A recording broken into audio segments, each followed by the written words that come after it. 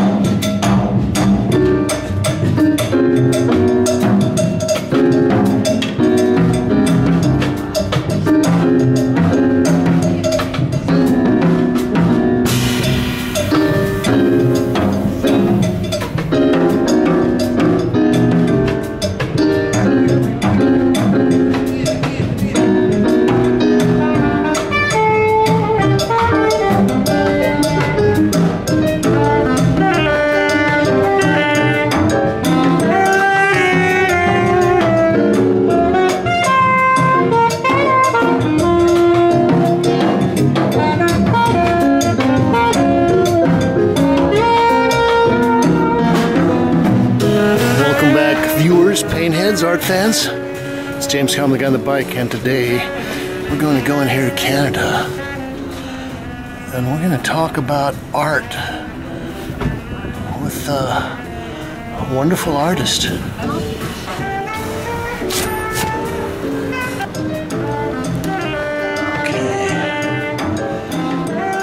Well, now we're going to talk with uh, Kathy Bradford, who has very graciously accepted a uh, an opportunity for a little interview. We're going to make this short, not too uh, tedious. Well, first of all, tell us a little bit about the show. All, the, all these paintings are new, and most of them have water and swimmers in them. Okay. I didn't set out to make it a, paint, a show about water Swimmers and painters. and swimmers, but this one, this one is called Swim Team, Team Miami, and, and I was influenced by going down to Miami in December. For the Miami Art Fair? Yeah, Miami Art Fair. Oh. It was all warm and steamy and Let's uh, stroll into the main gallery and I'll get down to the really annoying questions. Well, uh, one of the things I wanted to ask you about is this is uh, your first show with Canada. And uh, we've talked a little bit about it. You don't have to get too specific, but uh, what are your thoughts about uh, sort of changing galleries, doing different things? I, I, I'm for it. Yes. James Kalm. Okay, that's a that's a very explicit uh, answer. Uh, the other thing I wanted to talk about was that uh, this latest batch of paintings you're using acrylic. Now, uh, as I remember, you were mostly an oil painter. That's right. This this painting over here called Fear of Let, let's take a look at Fear of Waves. This is the the namesake of the show. Right. This is an oil painting because I started it two years ago. And it took me that long to paint, so I finished it in oil. The rest are acrylic. And what what made you decide to uh, change mediums? Mainly because I wanted to use their fluorescent paints. Ah, If you if you see like see that green one, that's Yes. fluorescent green. absolutely. And a lot of the light coming from these two is fluorescent red and fluorescent orange and fluorescent blue. That's fluorescent blue all around there. It's just a, it's just an exciting color to work with. And you felt like you couldn't get the same kind of uh, punchy colors using oil? No, I couldn't. I'm sure I couldn't. Okay, let's take a look at this piece over here. I couldn't get I couldn't get the kind of uh, glow like this kind of stuff. Doesn't this look like fluorescent? That's yes, it does. You know, and the other thing is that, uh, okay, I'm a painter myself, and I've been watching your work for a long time, and I, I really didn't uh, realize that you had uh, switched over to acrylics until I looked at the, uh, the gallery listings. Now, we're looking at this piece, and this also brings up another point. Is this painted on a drop cloth? Because I It see is. the little, uh, the little seams in here. So someone gave me this stretcher. It's the biggest painting I've ever done. Really? So this is six by eight feet, something like that? I, I don't know. It's a hundred and something across. Oh, I was really intimidated by it, and I, the only piece of canvas I had that was big enough was the drop cloth on my studio floor. And when I stretched it, it looked great, just the way it was, but also like a lot of other people's paintings. And, and I worked on it for a couple of years, but finally finished it just before the show. Well, this also kind of uh, brings up another point. you know, Chris Martin, one of your friends, has been using drop cloths for years, but maybe you could talk a little bit about. Uh, you've got a group of friends, painters that you've kind of hung out with for years. Stolen ideas from Yeah, well, and they've stolen ideas from you. So Chris Martin is one of them. Bill Jensen, Margrit Lewczuk, uh, Peter Acheson. well, you know, the reason why I know about this gallery is one of my students named Brendan Cass Yes. knew about Canada when they were on Christie Street, when they were a young, scrappy gallery. And he took me down there and he introduced me to them. And he said, You should show Katherine Bradford. And they took note. And I always went to their openings and I got to know the work, and I thought they were a really interesting place. I always wanted to be part of this gallery. And now you are. Well, they gave me their big monster room, which, which at first I just was overwhelmed. Like I, you know, I, I've done little paintings for years, Yes. and I, I didn't see how I could have a show in this space. Well, So I had to, I had to slow my work. I was for intimate viewing. But you know, you know what's been surprising about this show is how many people have gotten up close to these and taken uh, details and put it on Instagram. well, that's one of the reasons that I was kind of wondering because you get this great uh, sense of uh, the overlays, the glazes, and uh, there are not a lot of people that are using acrylic that can use use it in that way and get to ni- such a nice and rich surface. But, but listen, all you do is add a lot of water. You know, talking about friends, the whole summer I was working on these, I was writing an essay about Katherine Bernhardt. She, ah. she has a book coming out. She also shows here, doesn't she? Or She does. She has shown with them, yes. But she was very much on my mind. I was really thinking about her work. And she adds a whole lot of water to her acrylic paint. Uh-huh. And gets all these great effects. And so I tried it. I mean, adding water is inexpensive. and, and like, I think that's how this happened. I mean, actually, this is kind of dry.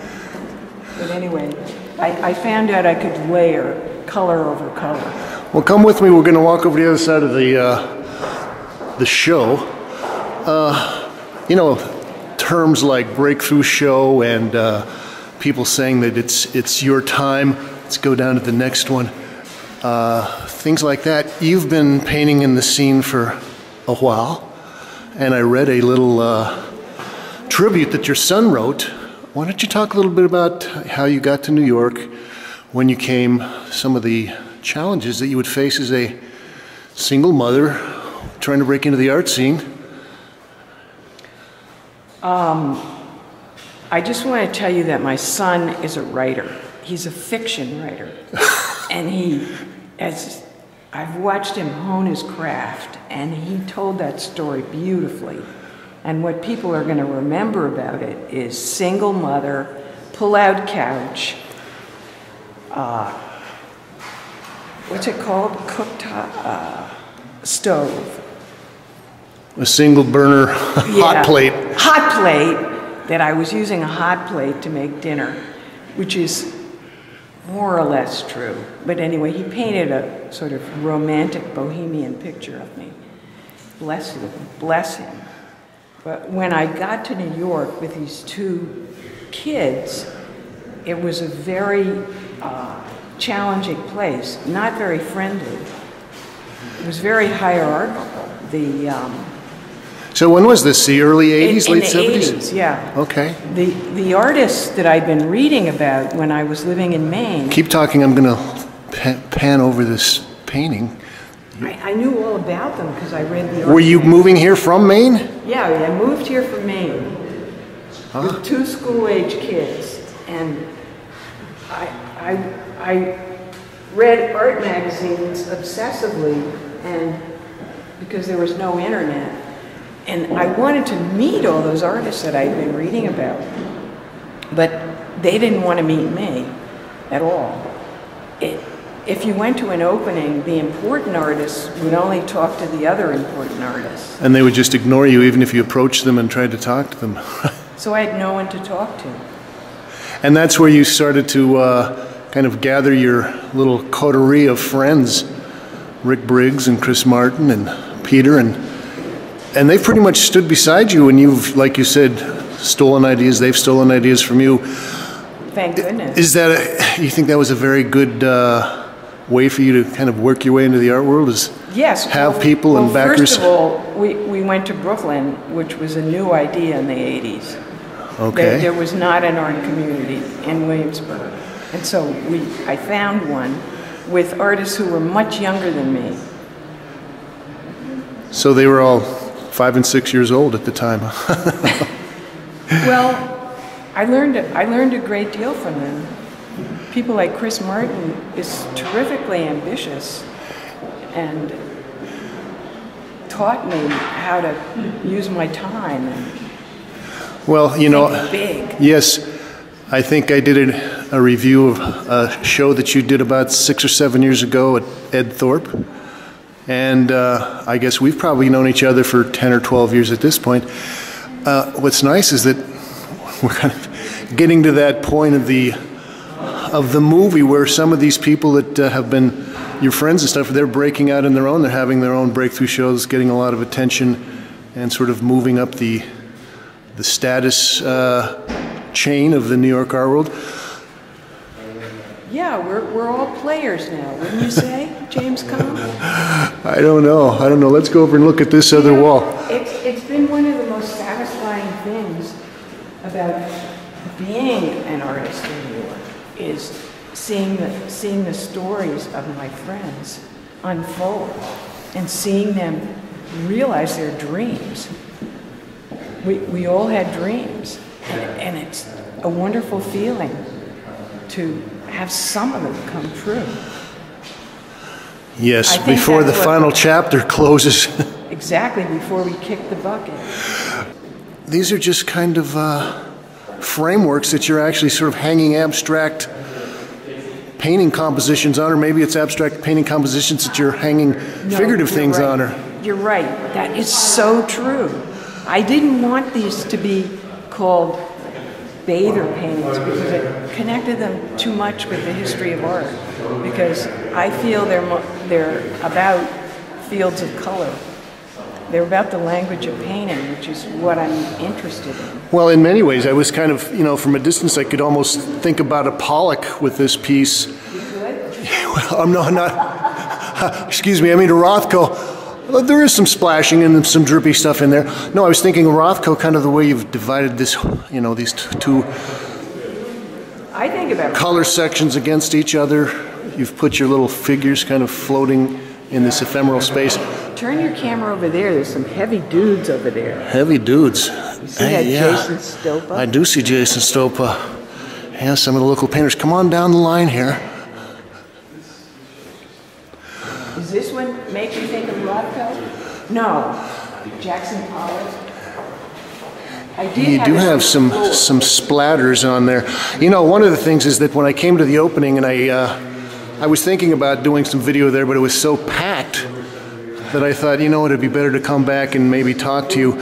But I was looking at this particular painting at the time, and you were talking about uh, fluorescent colors, and I was thinking, gee, this is almost too harsh. You know, it's almost like the uh, the red is too red, the green is too gaseous. But then I came back last weekend and uh, just walked through the gallery with two or three other people, and uh, I could really see that the color thing was working a lot better, and it wasn't quite as um, hard on the uh, the eyeballs as uh, as I thought. And now I'm thinking that there is a lot of actually kind of nice, subtle color things going on. I don't want to do nice. we don't, It's not nice in that way. It's nice from a painterly aspect.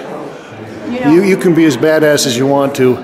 if, if you paint people, Yes. you don't, you don't have this problem, but the, Oh, I there's paint a people. terrible challenge with what color you're gonna make them, what color skin. And I did an awful lot of pink here, but this color was the one that, that, I, that Matisse used for his Ode to Joy, the women dancing in a circle. Yes. Sort of a dark red, which is a great color in itself. But I don't think they had fluorescent colors back in 1912 or whenever he did that painting. But he could he could certainly jack it up with the contrast. You know, let's uh, look over at these two little pieces while we wrap up.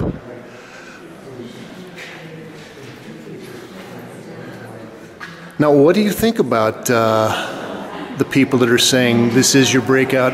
I mean, you're probably old enough to have had two or three breakout shows now at this point. But a lot of people were saying that uh, this really kind of establishes you as a as maybe a major, major painting talent in New York. And it only took you how many? 35 years of constant work? Something like that? You know, when people came up to me at the opening and said that kind of thing, younger artists, I just looked them in the eye and I said, never give up. Thanks, Mom. that's, that's a good point. And do you feel, I mean, do you feel like uh, people are taking you more serious now for some reason? You know, there are a few people that are a little nicer to me. Well, tell me who they are. I don't think I will. Let's, let's go to this last painting. This, this painting was kind of a dark blue, and I was very dissatisfied with it. So, in a fit of disgust, I painted the whole thing over in light blue, but I could still see these figures. So I kind of pulled them out of the paint and let some surprise things like these fish. It took me a while to get this person not to look like a dead person, and I gave them little trails of wakes. You know, I also I was uh, I was sort of surfing the art blogs last week, and I saw a headline that kind of caught my attention. It said uh, something to the effect of Kathy Bradford, uh, gender politics in pain or something like that. I think it was at uh, Art Fag City, some one of the blogs. Has that kind of approach, maybe that kind of political thinking, ever been involved in uh, the way you think about what you're doing as a painter? Gender politics? Well, that's what the headline said. I mean, No, I don't. You know, that, that big painting there is called Fathers. And I suppose you could read a great deal into what I meant by putting a circle of men in a pool and calling it fathers. Okay. I'm not sure what I did mean, actually. But you would say you say you're basically just a straight ahead painter, and that's what mostly interests you, or do you No, feel you want to? straight ahead. Do you feel like you want to have different kinds of references, different levels of of uh, appreciation, I think I'm talking about humanity, a human condition. right? In 2016, 2016, yeah. What, when you look at this painting, are you thinking about gender politics? I only mention that because I saw somebody who was writing for a blog. Maybe they'd write those kinds of things just to get viewers to uh, click onto the articles.